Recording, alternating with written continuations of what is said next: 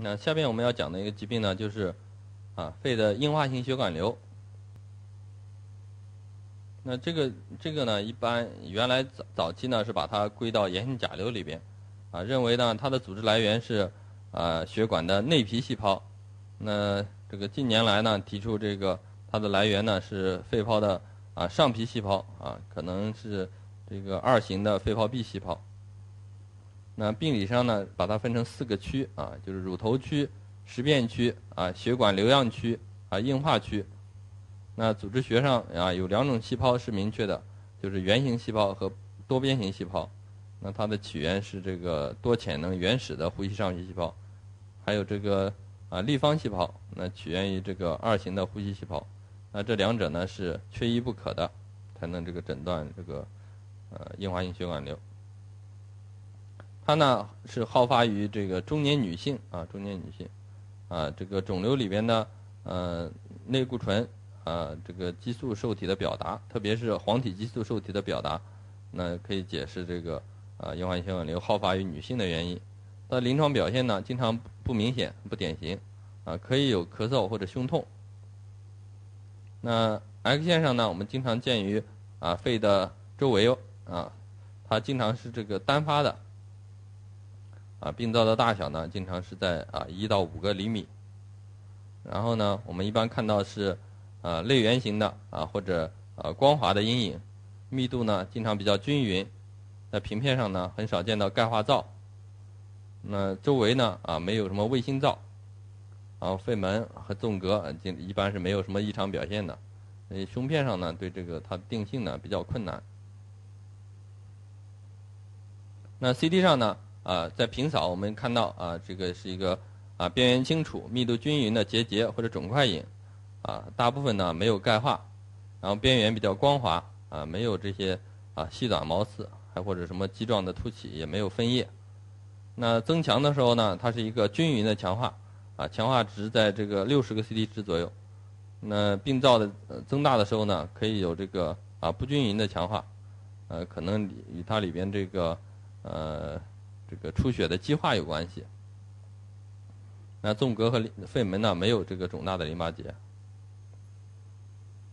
那我们看一个这个啊左肺门区啊一个这个硬化性的血管瘤，我们看它的边缘呢啊非常的清晰啊密度非常的均匀啊密度非常均匀，这个没有看到异常的钙化或者是呃这个低密度这个空洞这些都没看到那。侧位呢，我们看到它在肺门的后方啊，肺门后方这里。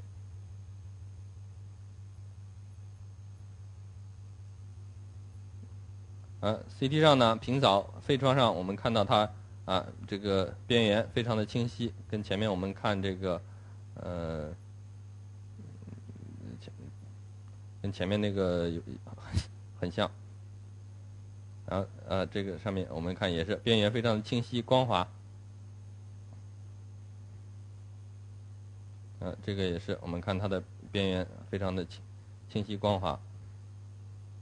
那内部的密度呢也是非常的均匀。那在纵隔窗上，啊，但是这这这里肺门有一个大血管，跟它关系不知道是怎么样。啊，那这个冠状位重建，我们看到这个边缘呢是非常光滑整齐的，啊，非常光滑整齐的。啊，这也是一个硬化性血管瘤。我们看这个病灶呢，相对比较大，啊，然后它的边缘呢也非常的光光滑，啊，非常的光滑，这个没有看到什么，啊，里边呢也没有看到什么异常的密度，周边呢也没有看到分叶、毛刺这些征象。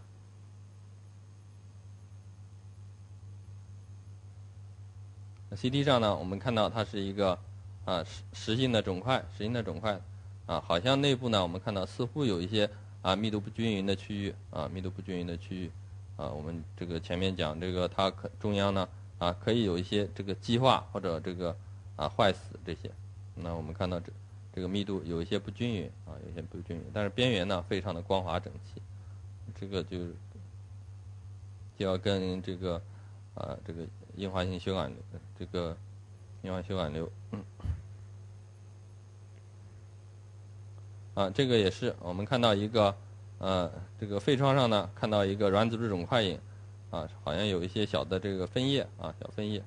那侧位片上呢，我们看到它这个这个比较特别，好像有一些有一个淡淡的包膜啊，有一个淡淡的包膜，那个内部的密度呢，啊啊比较均匀，但是好像有一些钙化啊，有一些钙化。这个呃呃矢状位重建呢，我们看到它这个在正好在肺门角的外侧啊，充填着肺门角，这个密度呢还是比较均匀。那这里这钙化呢，那就需要我们跟刚才看那个错构瘤啊，错构瘤要鉴别。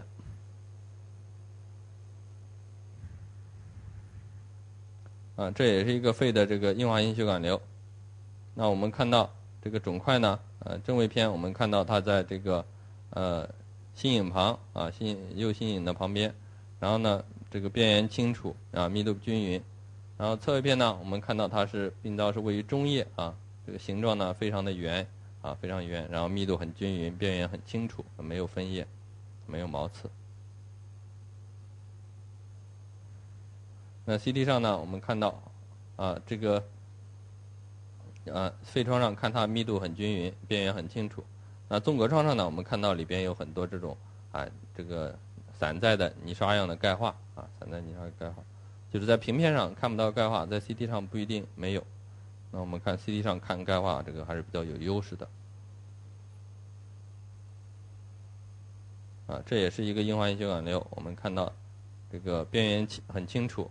啊，这个形状呢稍微有点这个不是标准圆。然后内部呢，我们也看到了钙化啊，也看到了钙化。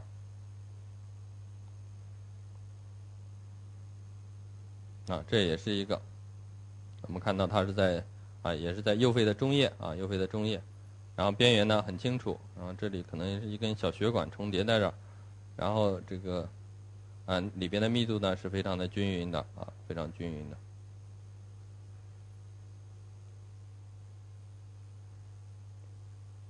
啊，这是这这是另外一个病人，嗯，看这个位置不一样。那这个在啊右右肺上叶啊，右肺上叶一个这个啊圆形的密度增高影，边缘很清楚。嗯，侧位呢，我们看到这个也是边缘清晰，啊里边的密度呢均匀。那它的鉴别诊断呢，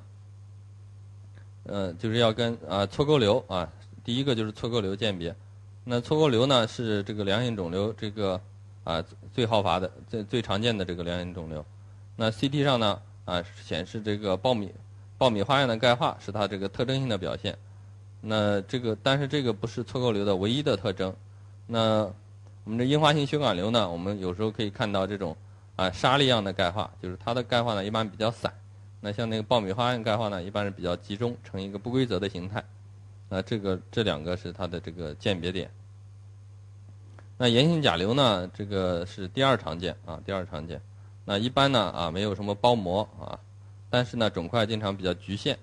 那 X 线上呢可以是圆形的或者椭圆形的结节状肿块。那有周围呢啊有时候可以看到毛刺啊毛刺和分叶，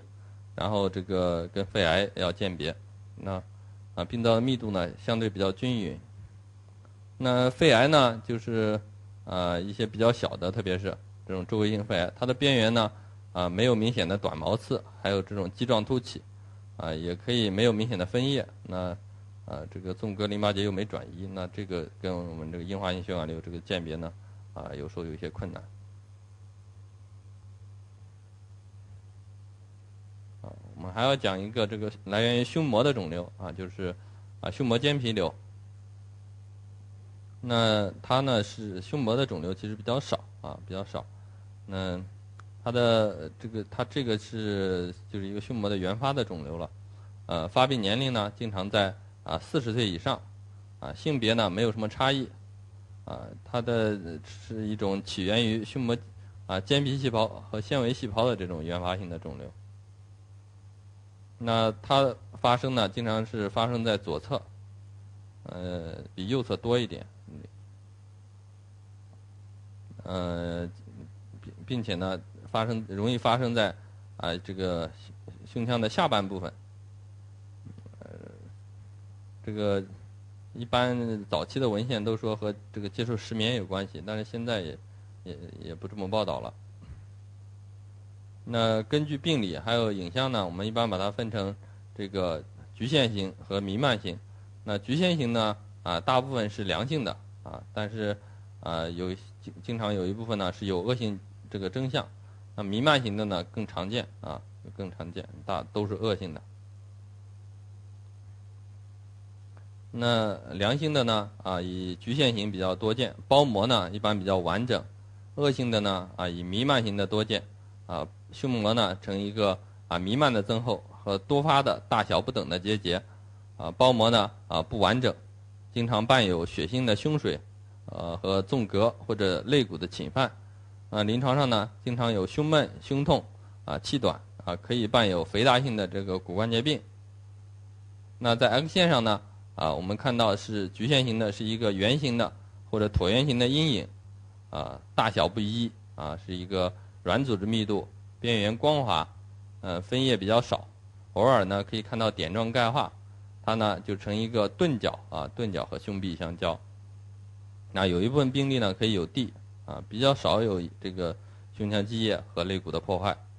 那弥漫型呢，经常是这个广泛的胸膜增厚，啊，胸膜面呢。啊，看到多个大小不等的结节，还有不能自行胸吸收的胸腔积液，啊，经常可以看到纵隔肺门淋巴结的增大，还有肋骨的破坏。CT 上呢，啊，局限型一般看到是啊软组织肿块影啊呈一个啊中等密度或者是中等信号，啊胸膜肿瘤临近的胸膜呢啊呈一个均匀的或者不均匀的增厚，那弥漫型的呢啊这个是弥漫性的。啊，不规则的胸膜增厚，还有结节状的这个增厚，啊，可以累积夜间胸膜，并且呢，啊，伴有同侧的胸腔积液，啊，也可以侵侵犯纵隔、心包、胸壁以及肺内，啊，这个还可以造成肋骨和椎体的破坏。CT 扫描呢，我们可以看到它是呈一个明显的强化。那 CT 上呢，这个良性的，啊，经常是单发的。啊，大部分来自于是脏层胸膜啊，以胸膜为基底的软组织肿块，啊，肿块的范围呢啊，经常比较局限，轮廓呢很清晰，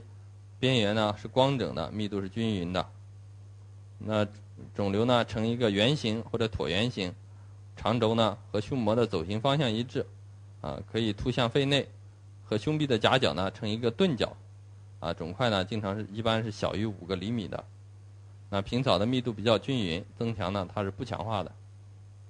然后胸膜呢一般没有钙化，也没有肋骨破坏、胸腔积液，啊，少数会有胸水。那恶性呢啊，它可以起源于脏层胸膜，也可以啊起源于这个呃壁层胸膜和纵隔胸膜，啊，它的胸膜呢是广泛的增厚啊，成一个啊不规则的结节状的或者胸膜肿块，啊，经常伴有大量的胸水。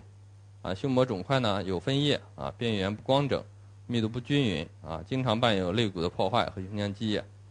增强扫描呢啊，不均匀的强化或者结节状的强化，这种呢经常提示它是一个啊恶性的胸膜间皮瘤。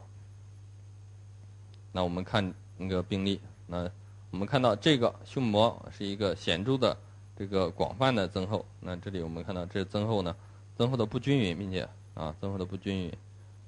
这个其实前后胸壁也有，这个啊，这个广泛的增厚，那是一个恶性的胸膜间皮瘤。那这也是一个恶性的胸膜间皮瘤。我们看到它这个下胸壁啊，这里这个胸膜增厚啊，有这种很多结节状的凸起。那这里呢，我们也看到结节状的凸起。那这种呢，很多都是这个在前后胸壁上的啊。另外，我们看到它的肋隔角变钝消失，有胸腔积液。啊，CT 上呢，我们看到啊，这些，刚才我们说，这这个其实应该就是对应的这个病灶，我们看到它是在前胸壁的啊，前胸壁的，那这个大的呢就是这个啊，在这个侧胸壁的，啊，就是各个胸壁都有。那像这这些可能是这这像这些病灶，啊，这个肋隔角呢，我们看到明显的变钝了啊，这胸腔积液，啊，这是一个局限性的胸膜间皮瘤，我们看到啊，它的边缘呢很清楚。和这个胸膜呢，啊，这个成一个钝角啊，钝角。其实，在我们这上面看着好像是个锐角，其实它，因为它并不是真正的在这个侧胸壁的。如果是在这个看它的切线位呢，它应该是一个钝角的。啊，这也是一个局限性的胸膜间皮瘤，啊，我们看到它这个病灶呢是位于这个侧胸壁啊，侧胸壁啊，然后呈一个钝角啊，钝角和这个胸膜相交啊，啊，就是这个夹角是钝角，这种说明呢它是来源于胸膜啊，来源于胸膜，啊，这也是一个局限性的胸膜间皮瘤，我们看到它啊，这个病灶比较大，当然比较大了，啊，侧位我们看它这个位于这个这个前前。啊，前侧胸壁啊，前侧胸壁，然后也没有，它就没有什么胸腔积液啊，没有胸膜腔积液啊，其他地方的胸膜呢也是正常的，没有增厚，就是一个局限性的胸膜间皮瘤。那 CT 呢，我们看到啊，这个局限性的胸膜间皮瘤呈这个啊，这边是一个钝角，当然这边好像有点锐锐利的，成了个锐角和胸壁相交，啊，没有看到胸腔积液，里面的密度呢很均匀，增强呢。我们看到这是增强，它没有明显的强化。啊，这是呃刚才看那个右下肺的那个啊啊，我们看到它它这个这个当然这个肿瘤比较大了，有时候太大了以后呢啊，我们刚才所说的这个钝角和锐角有时候就不太适用了啊，它很大以后这个成一个锐角和这个胸壁相交啊，密度呢还是比较均匀的，也没有引起胸腔积液。啊，这个是一个恶性的，那这个弥漫的，啊，我们看到呢，胸壁有多个啊，有多个这个结节状的凸起，啊，结节状的凸起，啊，它们都是呈这个钝角，钝角和胸壁相交，然后这个肋骨呢没有什么破坏，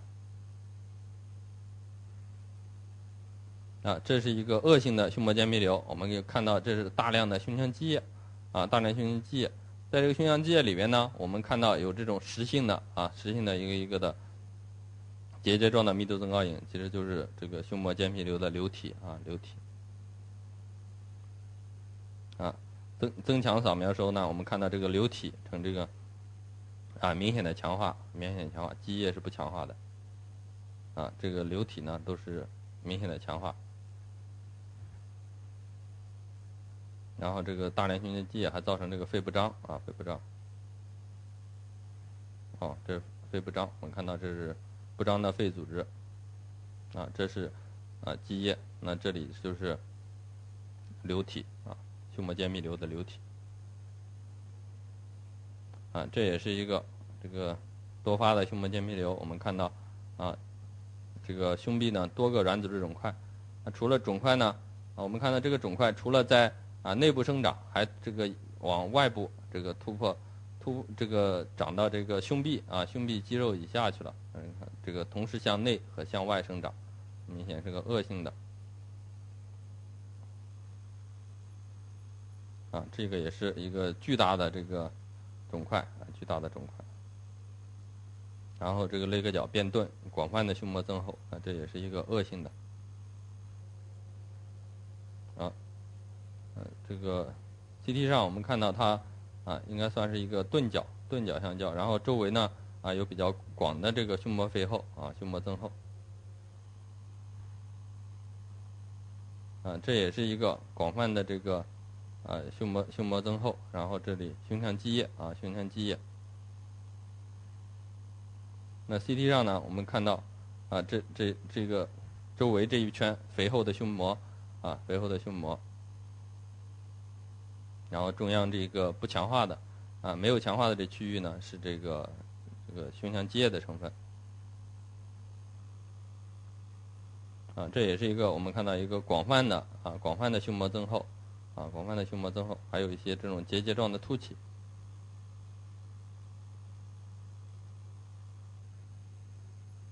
啊，这个也是我们看到啊，沿着侧胸壁有很多这种啊，这个局这个。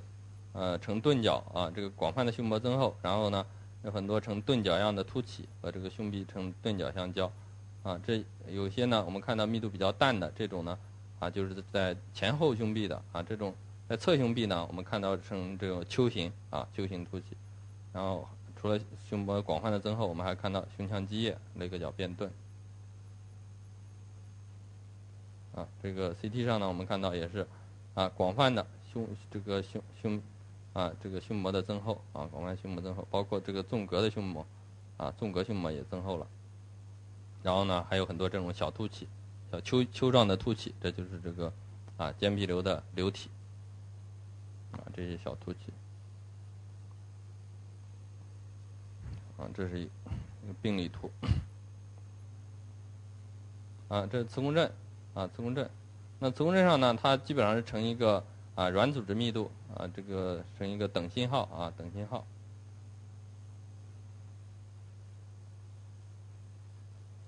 这个这在这里是成一个稍高信号，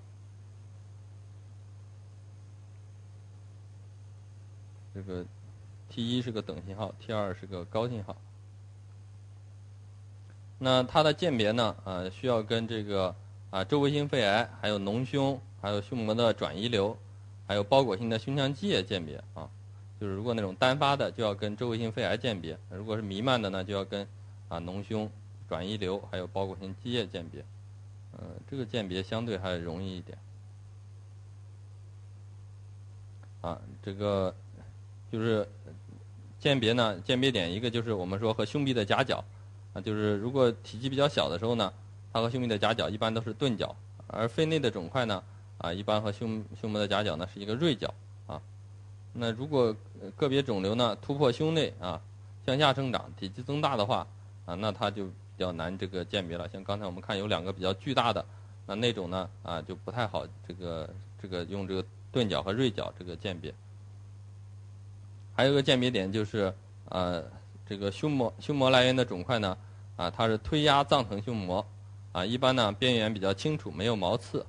而肺内的边肿块呢一般边缘不清楚可以看到毛刺啊可以看到毛刺。嗯那。这个胸膜的肿瘤和它鉴别呢，就是啊，包括这个胸膜转移瘤，还有恶性胸膜间皮瘤、胸膜结核。那恶性胸膜间皮瘤和胸膜的转移瘤呢，都可以表现这个孤立的啊胸膜的孤立样、孤立性的或者多发的肿块。然后胸膜呢不规则的增厚，啊增强扫描呢肿块强化，啊经常合并胸水。那两者的鉴别呢，在于前者呢啊比较这个单侧多见啊。患侧的胸腔体积缩小，并且伴有纵隔的固定，啊，可以看到这种失眠肺样的改变，啊，比较少出现肺内转移。嗯，从发病率讲呢，这个啊胸膜转移瘤更加的常见，啊，经常合并啊肋骨的破坏，还有肺内的转移。那胸膜的结核呢，有时候合并肺结核，啊，那典型的胸膜结核呢。呃，可以表现胸膜的弥漫的增厚，还有局部的增厚形成肿块，啊，还可以看到钙化和干亮样的坏死，啊，增强扫描呢呈一个环形的强化，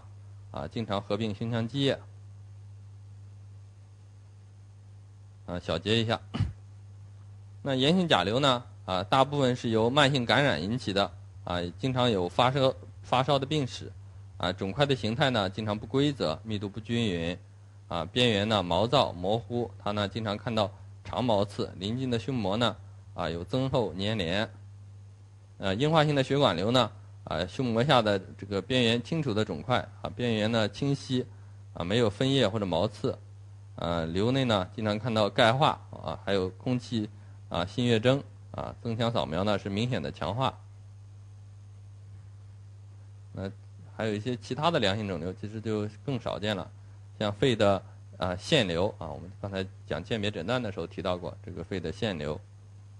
那我们看它也是边缘非常的清楚，呃，这个密度非常的均匀啊，这个边缘很光滑。啊，这也是一个肺腺瘤，我们看到它这个边缘清楚，密度呃密度均匀啊，这个呃很圆，要跟这个硬化性血管瘤这些鉴别。还有错构瘤，那这也是一个腺瘤。你看这个，它要跟那些啊周围型的这个呃肺错构瘤这些鉴别啊，这个我们看到病灶在这个下肺啊，就是肺的纤维瘤啊，肺的纤维瘤，呃也是这种边缘清楚、密度均匀的，都是肺的良性肿瘤。还有就是啊平血管平滑肌瘤啊，血管平滑肌瘤也是啊，基本上都差不多，都是边缘清楚、密度均匀。啊，这个没有分叶毛刺这些。我们看一个病例。啊，这是一个啊五十四岁的男性，啊发热、咳嗽、啊抗感染治疗十天，哎，我们在他的这个左下肺啊看到一个啊这个占位，然后周围呢有一些长长的这个长毛刺啊长毛刺，这个呃形态呢不太规则啊，这个毛刺比较长，似乎是像我们刚才说一个一个桃尖针一样。长毛刺还有桃尖针，那这个诊断呢，我们就要考虑是不是炎性甲流。那就需要注意，就是有点好像血管激素征。好，谢谢大家。